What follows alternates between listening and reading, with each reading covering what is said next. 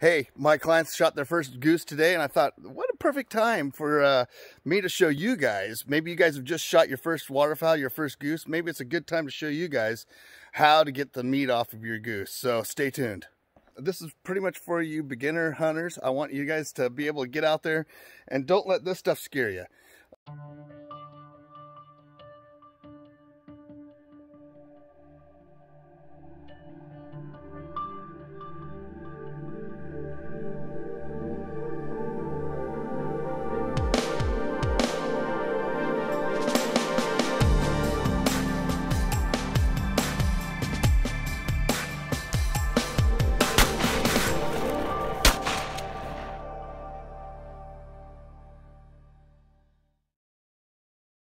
First thing is, is get your knife sharpener, work sharp. This is the Ken Onion edition. Um, and we're gonna set it to right around 17 degrees. I know that's not as durable as an edge as a lot of people like to run. Um, the reason that I do that is because when I'm using these cheesy fillet knives, which um, you just buy a cheap fillet knife, and then if you got a sharpener, you could sharpen it all the time, and it works really good. The reason I like the cheesy ones is they bend and they bend real well. Um, and if they lose an edge on a goose or two, you just run it across your your um, work sharp, and it's back together real quick. So you just run it through.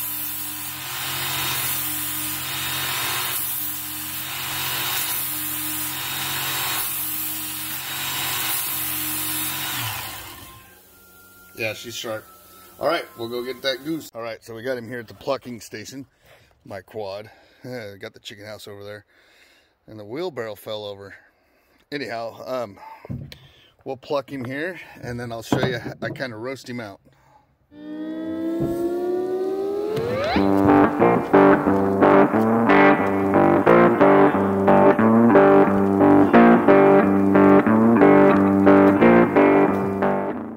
All right, so you want to make sure that you get all the way down on the breastbone.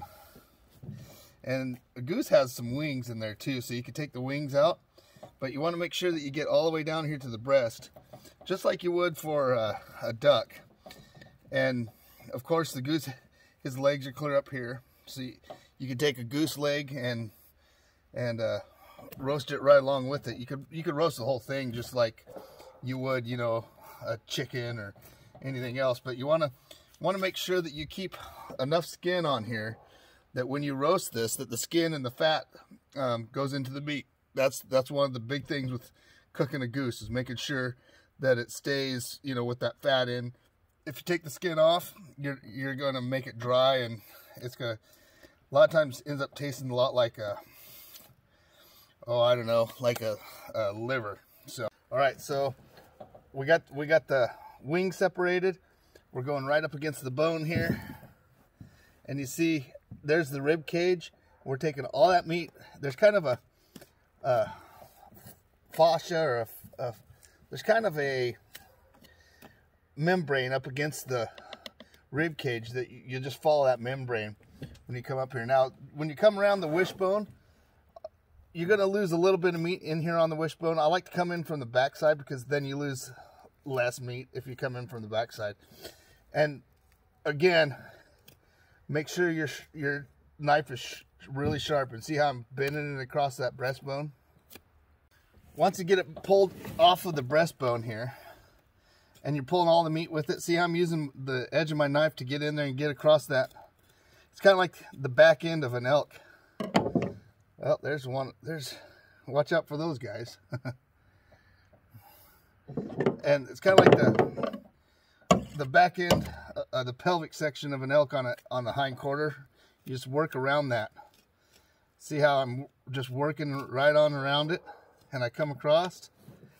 And once I get to the, once I get back here to um, the, the breastbone and there, it's right here, then you can start going up the breastbone. Now the one thing that I do differently with the goose that I don't do with ducks is I'll take and I'll come right across the breastbone and I'll cut it because you, are going to roast this and quite honestly one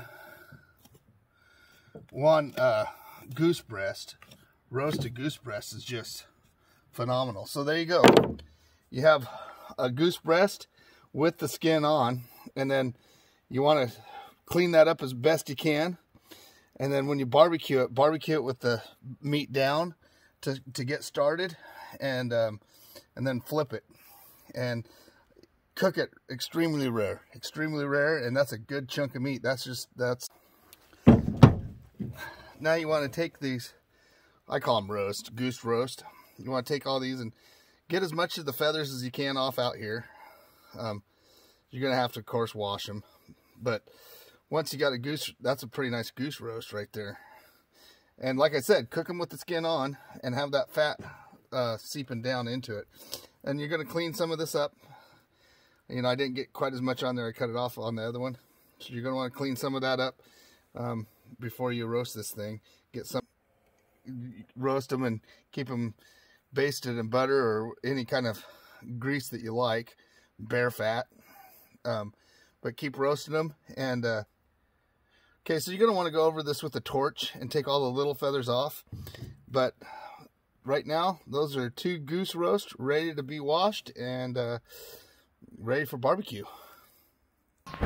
Hey guys, Nate Bailey here with the Life Outdoorz. I hope that last video helped you and maybe you'll get a big, great big goose roast to put on the barbecue for Christmas.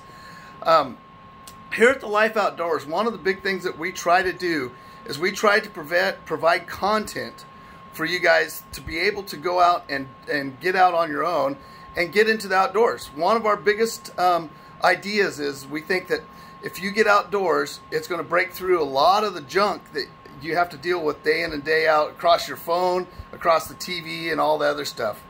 In order to make this sustainable, though, all the content that we've been putting out, and if you guys haven't seen our content, just check out our channel, check out our Facebook page, and check out thelifeoutdoors.com. And you'll see that we, we put out a lot of content trying to get you guys feeling confident outdoors and uh, jazzed up to want to go outdoors. So that's what we're trying to do. But to make this sustainable, we we do need some funds. And what we do is we created some t-shirts and some other goodies over on thelifeoutdoors.com. If you guys like the content and you guys think that this is something that the world needs, then you could help us by um, by you know getting a shirt or getting a phone case or whatever. So we ask that you might be able to think about that, and uh, if not, just keep watching the content. Also share it. That helps us a bunch too. All those things you can help but um, keeping this content going out. And that's what we're, we're trying to do. So thanks a bunch for watching. Get out there, eat eat some of that big old goose steak and uh, get some more ducks and, and just enjoy the reality that the life outdoors provides. All right, take care.